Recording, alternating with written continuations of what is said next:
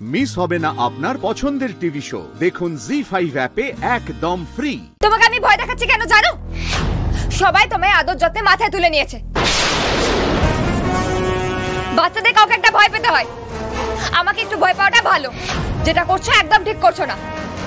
ডাক্তারবাবু এক্ষুনি আসছেন। যাও গিয়ে খাটে বসো। যাও যাও।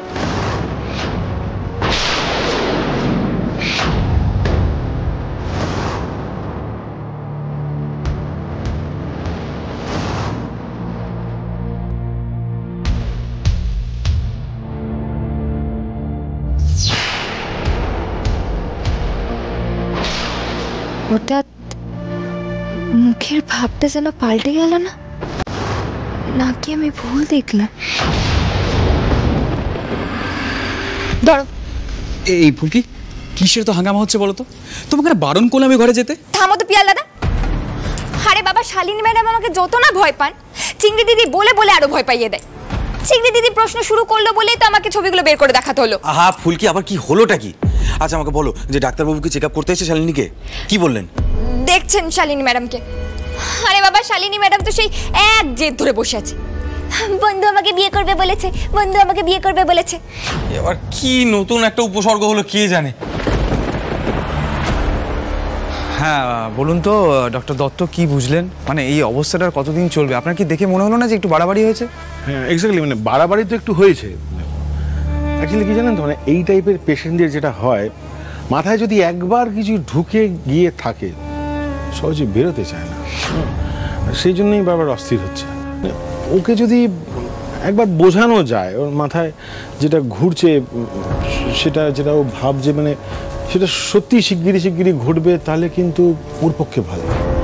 না অ্যাকচুয়ালি কি, ও তো সব কিছু মনে মনে ইমাজিন করছে, ভেবে নিচ্ছে, আর সেগুলো আমরা কেউ বুঝতে পারছি না, ধরতে পারছি না।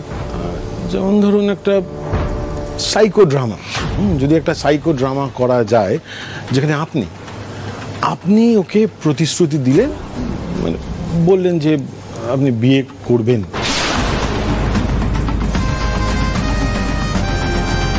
আমার তাহলে কিন্তু পেশেন্ট একটু একটু শান্ত হবে।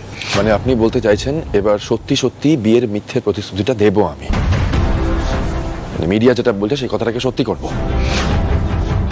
না না মানে এইভাবে ব্যাপারটাকে দেখছেন কেন? এটা তো একটা ট্রিটমেন্টের অংশ।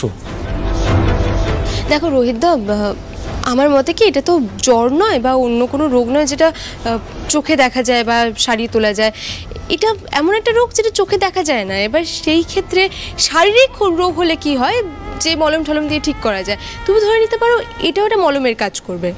ডক্টর আমি ঠিক বলেছি না? আমি রাইট এক্স্যাক্টলি এক্স্যাক্টলি মানে এই ড্রামাটা না একটা মলমের কাজ করবে। বুঝলাম ডক্টর দত্ত কিন্তু খুবই সমস্যার ব্যাপার তাই না? বল কি করবি বলতো?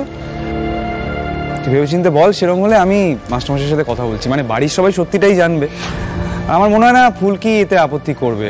কি ফুলকি? তুমি বলো কি বলছো বলো। ফুলকি কি বলবে এখানে? এক্ষেত্রে যা বলার আমি বলব। হ্যাঁ তো বল। করতে পারব না আমি এই কাজটা।